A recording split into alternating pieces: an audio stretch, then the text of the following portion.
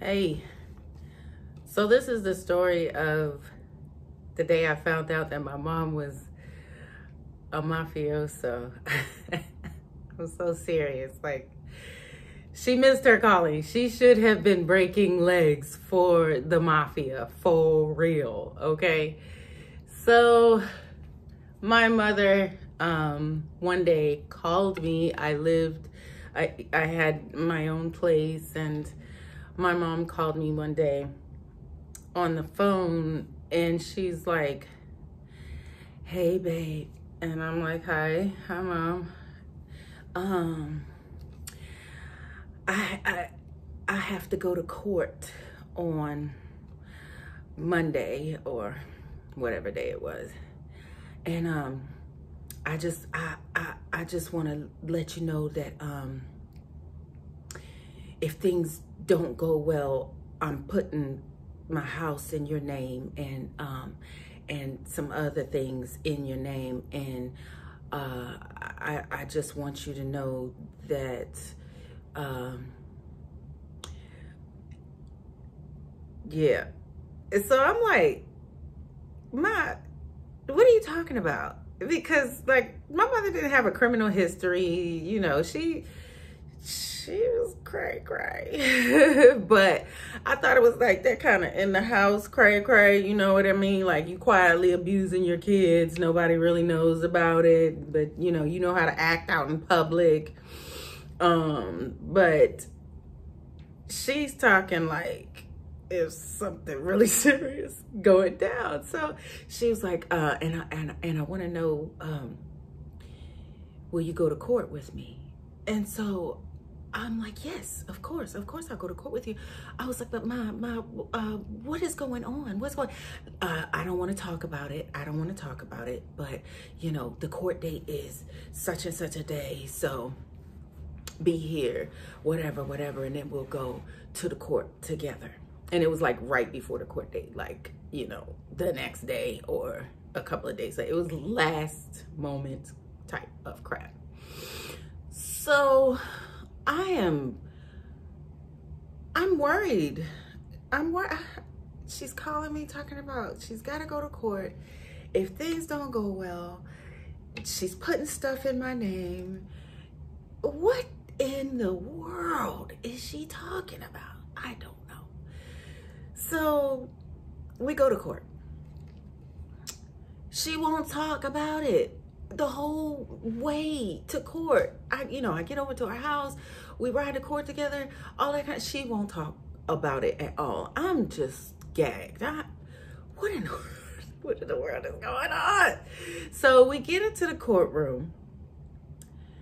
The judge finally comes in. You know how they have you sitting there for like an hour before the judge even comes into the room. So the judge finally comes into the room and then he starts, he begins calling cases. So case after case after case until the entire courtroom is empty except me, my mom, her attorney, and the essential other staff that needs to be in there. I'm worried. I am so worried. So after the courtroom is all clear, the judge finally calls my mother's name, my mother's case. so we go up there to stand before the judge. You know, on, on our side, the defendant side of the courtroom. And the judge reads off the charges.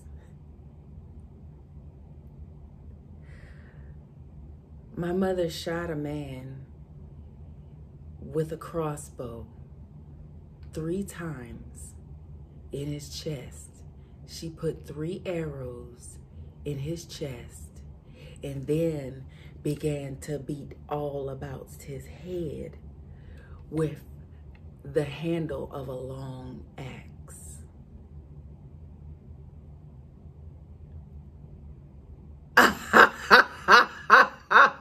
What's like, what the, what the actual Oh my God, what in the world is going on?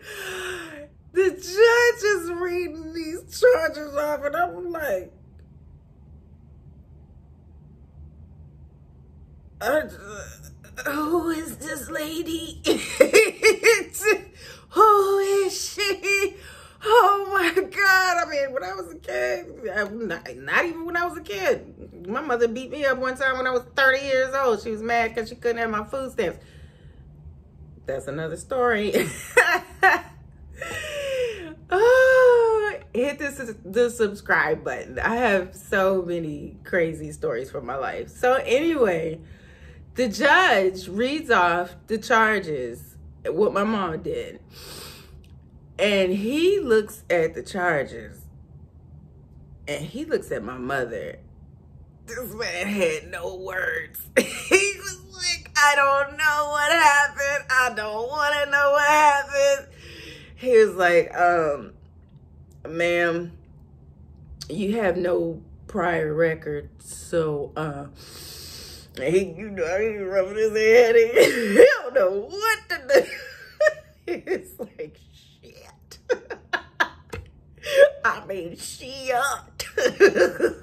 He was messed up. He was like, um, you you you have no prior criminal history. Uh, he's like, look, I'm gonna put I'm gonna put a step on this, and as long as you don't do anything over the next year, this thing will just go away. Okay, but if you get into any kind of trouble, over the next year, then this is going to come up and you're going to have to answer for this, you know, and whatever that, whatever else it is that you do. So my mom was like, whew, that. so we hurry up and get out that courtroom. We hurry up and get out that courtroom, right? She's like, freedom. She just knew she was going to jail. So we get in the car and I'm like, what Why did you shoot Mr. Daryl with a crossbow three times and then beat him all in his head with the handle of a long axe? I was like, what happened?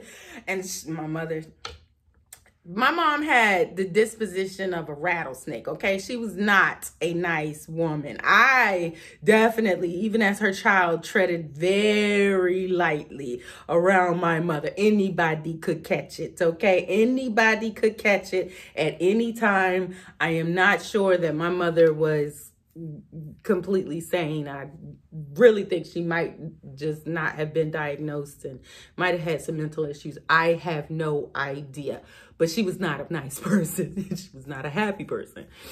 So I was like, Ma, what happened? And she was like, he came into the kitchen. She was always talking between from from between clenched teeth. You know, she's he came in the kitchen and wanna argue with me and wanna throw my refrigerator down on the floor. Mm-hmm. I tore his ass. I took my crossbow and I shot him. You ain't gonna do me like that. You're not gonna treat my stuff like that. And I was like, okay. okay. he he he started messing with the wrong one. All right, all right, all right. We we don't have to relive it, ma. Don't let's not go back to that day. I ain't trying to catch no blues. she might have a flashback.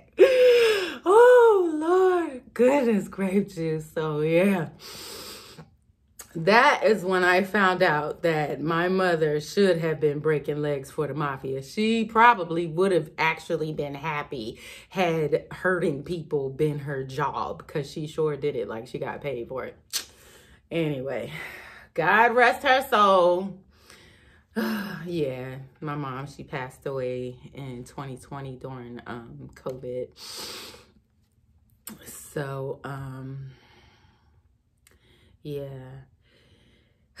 it was rough. It was rough growing up with her as my mother.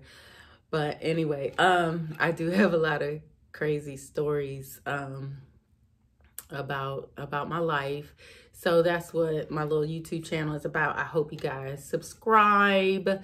Um, also, I have an audio book. Uh, it's called Bedroom Secrets of an Ex-Lesbian. I used to be I used to be gay. God actually spoke to me and delivered me from homosexuality. I was not going to church. I was like, I left God alone and I hope that he would leave me alone. Um, but he had other plans. And so he just confronted me uh, and he asked me a question. And when I asked that, answered that question, he just took all those desires, all the lusts, all the feelings that I had for women, just gone.